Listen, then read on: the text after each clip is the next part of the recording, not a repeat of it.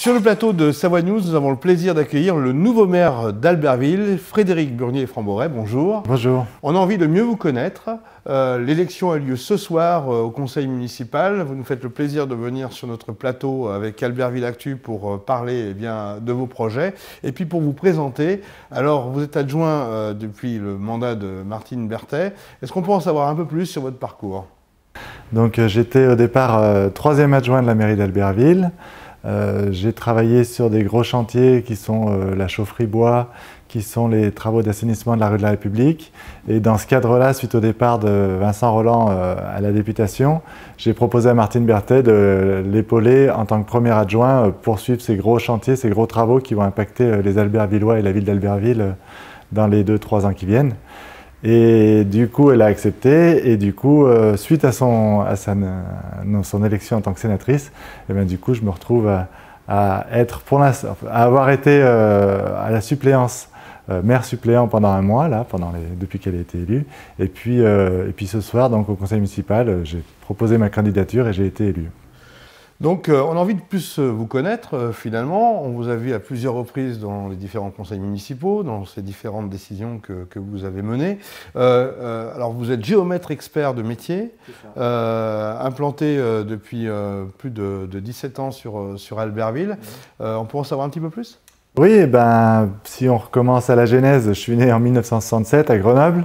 tout jeune alors Voilà, enfin tout jeune, ouais, 50 ans cette année. Euh, j'ai vécu mes premiers Jeux Olympiques en 68 à Grenoble. Après, j'ai fait mes études. Euh, je suis monté à Paris pour faire les études de géomètre expert. Euh, j'ai été diplômé en 1995 par le gouvernement. Et après, je suis revenu dans les Alpes pour, pour y travailler, alors un peu sur, sur toutes les Alpes, Savoie, Isère.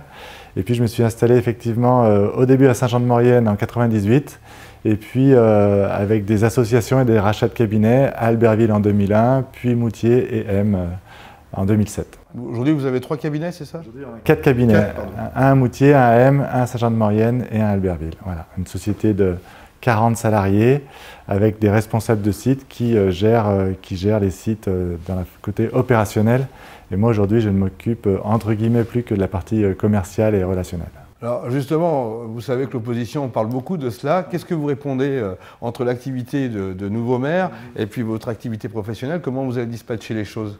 Alors, depuis 3-4 ans au sein de mon entreprise, on a mis en place la numérisation et la dématérialisation, ce qui fait que depuis n'importe où, je dirais, même, pas même en voyage, je peux euh, savoir ce qui se passe dans mon bureau et comment ça se passe et gérer les affaires, euh, tout par Internet, tout par euh, voie dématérialisée. Et c'est ce qui me permet d'être à la fois présent dans mon entreprise sans y être présent physiquement. Et donc, pour ce qui est de la mairie, ben, je compte bien travailler aussi, travailler énormément à la numérisation et la dématérialisation des relations entre les services, hein, car aujourd'hui, c'est encore tout du papier carbone et des bons de commande euh, avec plusieurs niveaux de signature euh, qui sont très complexes. Euh, donc on va essayer de simplifier tout ça et, je vais aussi plus responsabiliser mes équipes puisqu'en tant que chef d'entreprise, je pense que j'ai la, capacité à savoir déléguer et savoir m'entourer de bons conseils. Et j'ai une équipe qui est très performante dans ce domaine. Alors, euh, j'ai envie de vous poser la question, pourquoi vous investir dans la vie locale? Vous avez euh, des entreprises qui marchent bien, euh, vous vous éclatez a priori dans, votre travail, et là, vous avez décidé de, franchir plusieurs étapes rapidement. Qu'est-ce qui vous motive? Quel est votre moteur? Alors, la rapidité, effectivement, ça, c'était pas forcément prévu, mais par contre, mon moteur... Mon moteur, c'est en tant que géomètre, on travaille beaucoup, notamment quand c'était sur la Maurienne ou, ou, même en Tarentaise, avec les petites collectivités. Et j'ai toujours été travaillé très étroitement avec les maires et j'ai pu comprendre un peu leurs leur, euh, préoccupations et j'ai toujours été très proche d'eux, hein, surtout une petite commune rurale. Et à force de les côtoyer, ben, du coup, j'ai vu un peu comment on fonctionnait. Et donc en 2014, lorsque Martine Berthet s'est présentée, je me suis proposé pour lui amener une assistance entre guillemets un petit peu technique et mes connaissances en urbanisme et en, travaux. Et puis, euh, et puis voilà, elle m'a tout de suite fait confiance, le, courant est bien passé tout de suite. Elle m'a, j'étais nommé troisième adjoint dans un domaine que, que j'apprécie beaucoup, hein, le développement durable et l'environnement. Et puis voilà, les choses se sont faites assez rapidement, mais ça me, la rapidité ne me fait pas peur et justement c'est un, challenge qui m'intéresse et, me plaît. Vous aimez aller de l'avant, on a bien compris. Alors euh, justement, votre sensibilité pour le développement durable, est-ce que ça n'a pas changé un peu la politique de la ville? Alors changer non, parce que j'espère avoir mis mon empreinte déjà dans tous les projets qui pouvaient avoir été faits dans le développement durable. Mais effectivement, euh, euh, jusqu'à présent, il fallait, il fallait travailler et, remettre tous les jours l'ouvrage sur, sur la table pour, pour faire imprimer ce développement durable. Et c'est vrai qu'aujourd'hui, euh, de par cette sensibilité, euh, c'est les, choses qui vont arriver beaucoup plus naturellement dans, dans, les processus de travaux et dans ce que l'on pourra faire. Au niveau collectivité, c'est un point sensible euh, dont tout le monde parle aujourd'hui. Oui, oui, oui. Alors, c'est pas une mode, hein, parce que moi, étant originaire de Grenoble, Grenoble a toujours été à la pointe de l'environnement. Hein. On a eu, alors sans parler politique, on a eu Alain Carignon, quand même, qui était ministre de l'Environnement euh, pendant 2-3 ans, si je me souviens bien. Euh, voilà, c'est vrai qu'à Grenoble, on a toujours été, euh, on a baigné là-dedans. Moi, j'allais à l'école à vélo depuis, depuis mon plus jeune âge et il y avait pas mal de réseaux cyclables. Aujourd'hui, Grenoble a pris une, orientation encore plus écologique. voilà, donc sans s'inscrire dans une, une, une, philosophie purement écologique, mais on va quand même bien travailler sur ces déplacements doux, sur la mobilité, sur toutes les choses qui font que Albertville soit une ville encore plus agréable à vivre. On est carrément à mi-mandat pour le conseil municipal. Euh, quels sont pour vous les points forts de cette première partie du mandat et aussi les points faibles?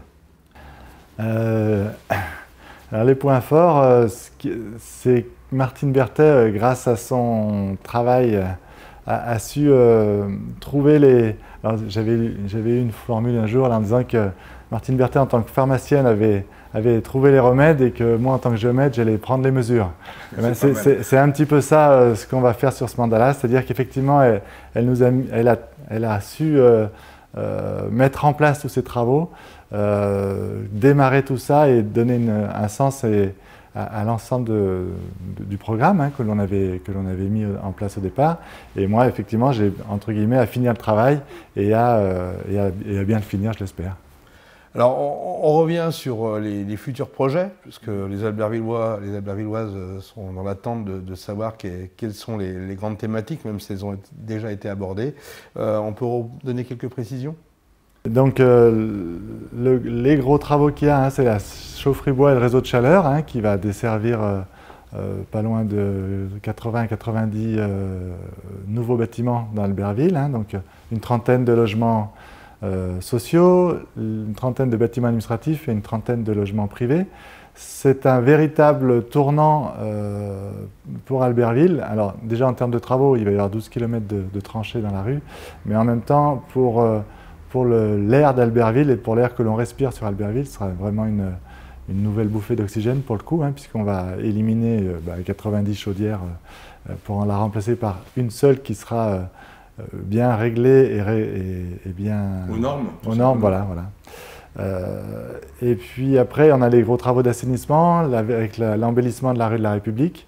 Ça, ça fait partie vraiment des grands chantiers. Et puis aussi, en, troisième dossier majeur, mais là où on a moins les rênes aujourd'hui, et, c'est vrai que c'est des dossiers très lourds, c'est l'ANRU, hein, le renouvellement urbain des quartiers prioritaires où là, effectivement, là, c'est une grosse machine, ce seront des gros projets avec des démolitions d'immeubles. Il y a beaucoup de polémiques d'ailleurs sur ce sujet-là. c'est difficile de contenter tout le monde, j'ai l'impression. Alors oui, parce que c'est des projets d'envergure, hein. il y a quand même 200 à 300 personnes concernées dans ces, dans ces logements sociaux.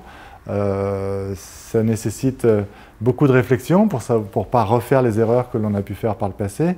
Donc effectivement, c'est des gros gros dossiers qui prennent beaucoup de temps et qui sont euh, complexes et dont les financements aujourd'hui ne sont encore pas complètement garantie de la part de l'État, puisque vous avez entendu que la politique sur le logement social, eh ben, on avait des, diminutions de, des, contraintes fixées par l'État hein, pour tout ce qui est aide au logement et, logement social. Et voilà, et nous, on doit quand même encore financer de l'investissement dans le logement social. Donc voilà, tout ça est très complexe et c'est des gros dossiers sur lesquels on va, on va travailler et associer bien évidemment la population à ces décisions.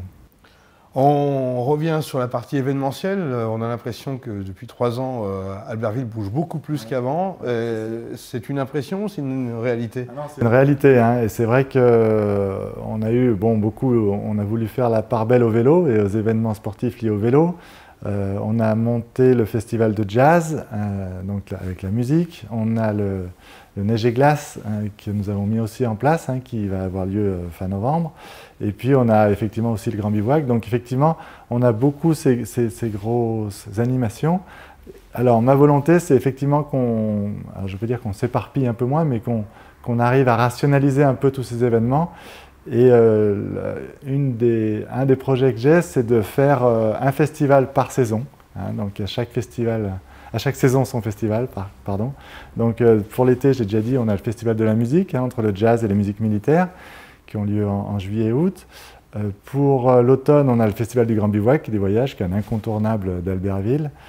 On aura neige et glace euh, pour l'hiver et donc ma volonté c'est de mettre en place un nouveau festival pour le printemps qui sera lié au jardin alpestre et à une sorte de bourse d'échange entre euh, des, jardiniers, la façon de faire les jardins en lien avec notre territoire euh, puisque on a une spécificité, c'est dans les Alpes avec une, flore et une faune très spécifiques, donc valoriser notre, écrin de nature autour d'Albertville.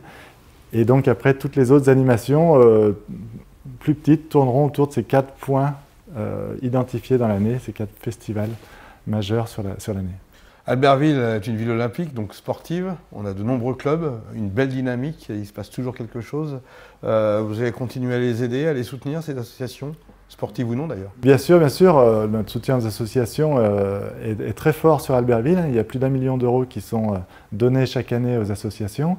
Donc nous allons continuer à les aider dès l'instant où elles, où elles participeront à la dynamique et à l'économie de notre territoire. Voilà. Alors dans les points d'amélioration qu'il faut changer, qu'il faut faire évoluer ou qui sont critiqués, vous avez des perspectives, vous avez des choses à nous dire? Alors, euh, pour moi, un des gros points d'amélioration, c'est ce dont je parlais tout à l'heure sur la numérisation. Hein, c'est vrai qu'Albertville, si je peux me permettre, on a un bilan carbone assez lourd, puisqu'on est encore au papier carbone pour faire les bons de commande et, les différentes relations entre les services, qui nécessitent, qui, qui prennent beaucoup de temps, qui nécessitent des fois aussi des incompréhensions entre les, entre les services, entre les élus.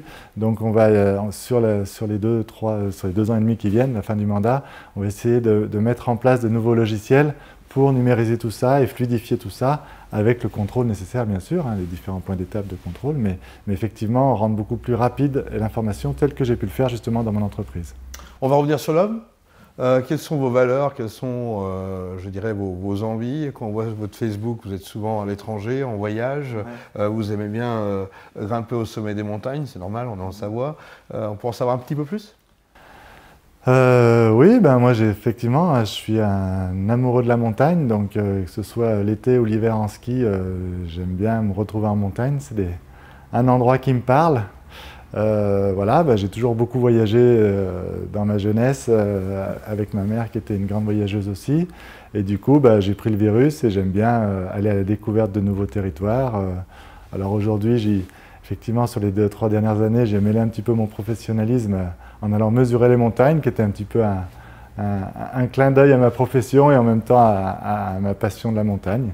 Voilà, après, toute une vie tout à fait normale, entre guillemets, pas de, pour terminer, le contact avec euh, les citoyens, vous l'envisagez comment? Eh bien, effectivement, on va, on va mettre en place ce qui avait été promis lors de, notre campagne, hein, euh, un peu des, points de rencontre avec les habitants et euh, je pense mettre en place des permanences, notamment dans les différents quartiers, sur le samedi matin par exemple, où vous pourrez venir rencontrer le maire et lui poser ses questions euh, en direct, je dirais, euh, sur des points de rencontre non, pas, des rendez-vous spécifiques, mais avoir des, points de rencontre dans la ville où, euh, chaque, où, chacun de la population pourra rencontrer le maire et ses adjoints lors de permanences ouvertes à l'extérieur de la mairie. Frédéric Burnier, Framboret, merci d'être venu sur le plateau de, de Savoie News pour faire connaissance et puis à, très bientôt pour évoquer tous ces sujets et l'avancement des projets. Très bien, merci beaucoup et merci à tous.